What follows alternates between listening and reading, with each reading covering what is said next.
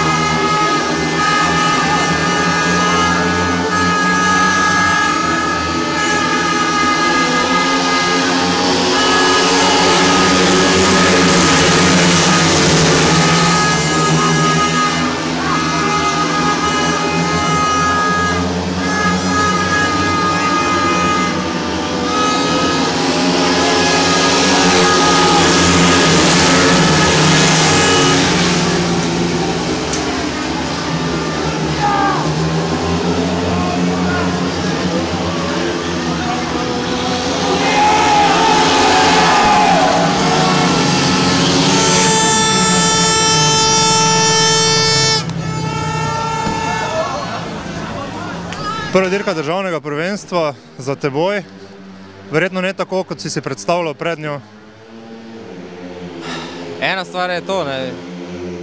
Sem si zaslužil zmago jaz, to je smem, ampak uh, napačne ljudi sem poslušal pri izbiri pozicije, ne pa sebe in uh, pač vsaka šolnik stane. Danes smo stali to prvega mesta, sem poslušal druge, ne pa sebe. Tako je.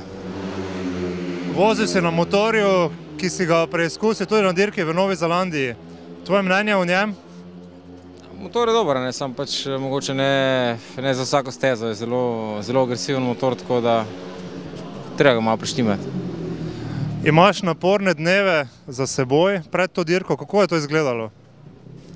Ja, prej sem skozi dirke Anglija pa na polskem treningu, ampak rečemo v večer je zgleda, da sem ostal v Goržu zgodaj zjutraj, dve uri pa pomen do Berlina, potem iz Berlina sem letel v London, iz Londona sem do Coventryja tudi dve uri pa pol z avtom, tam sem dirkal dve uri, potem spet dve uri nazaj v hotel, spal sem štiri ure pa pol, zjutraj vstati na avion do Zagreba, iz Zagreba sem na dirko, trening sem spustil, tako da nekaj.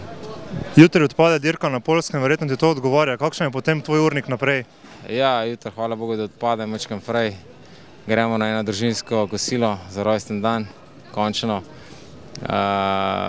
Potem pa ponedeljek letim v Manchester, v Anglijo, tako da v torek imam pa sparing tekmo, se pravi pripravljeno tekmo na Poljskem v Gneznu in to je to. Po dveh bolj obotavljajočih predstavah v Angliji, včeraj izvrstno le izgubljena točka.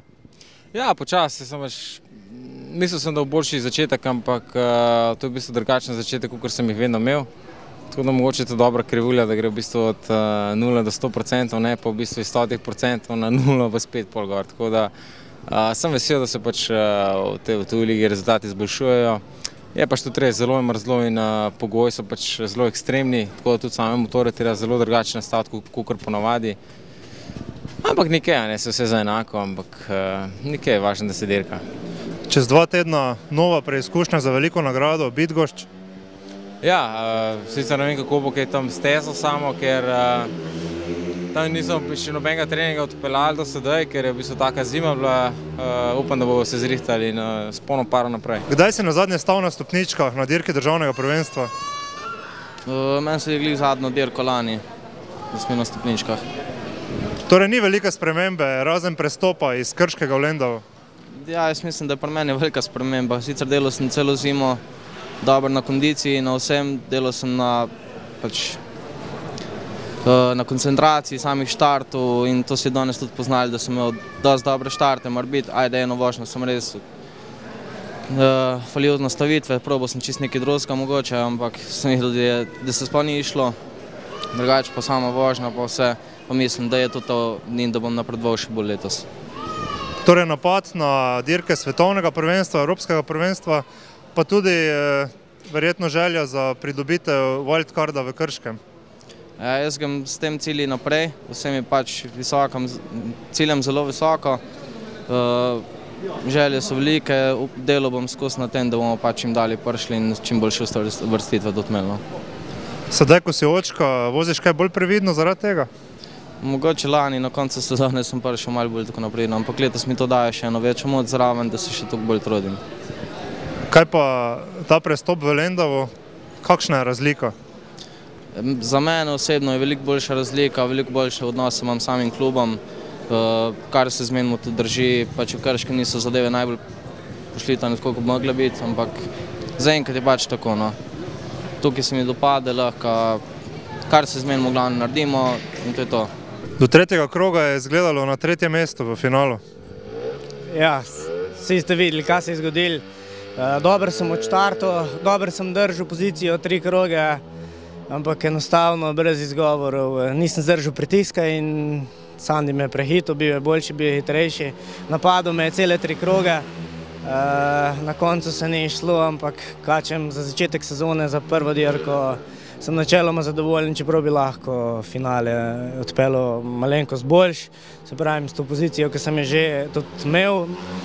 Ampak kačem, cel sem, sezona je še dolga, dirk bo še veliko, treba je gledati naprej in se potruditi po najboljših močeh. Sem pa dokazal sam sebi, da sem pripravljen dobro, da se znam odpeljati in za tem je treba stremeti. In tvoji cilji za to sezono? Zelo ne rad govorim o ciljih, no bom prvo povedal. Okay, pred, pred eh, finalno vožnjo si dejal, da si želiš vsaj stopničke, da je to edino, kar šteje. Tako nekako, če smo realni, uh, šteje samo to. Ne? Samo dobre točke, samo, samo točke in stopničke. In zatem pač strmim in uh, delam na tem. Upam, da se bo uresničil uh, v naslednjih dirkah, ker eh, se pravim, sem bil že zdaj zelo blizu in treba je iti naprej, pozabiti to dirko, popraviti napako, kjer sem naredil in osvojiti stopničke. Kaj pa na splošno, svetovno prvenstvo, evropsko prvenstvo? Sedaj si v bistvu v položaju, da si potnik potencijalen za oboje pred naslednjo dirko. Uh, ja, seveda, tudi, tudi to so nekako uh, tihi cilji. Se pravi, uh, prvi cilj je sigurno to odpeljati sezono brez poškodb, ostalo pa uh, iti za tem, za čem strmim, osvajati čim več na stopnički in to je to. Se prebijati, odpirati vrata za naprej. Kot piše na tvoji čeladi, the show must go on. Tako je. Čemu je to namenjeno? Е, такої не мов Фаріану.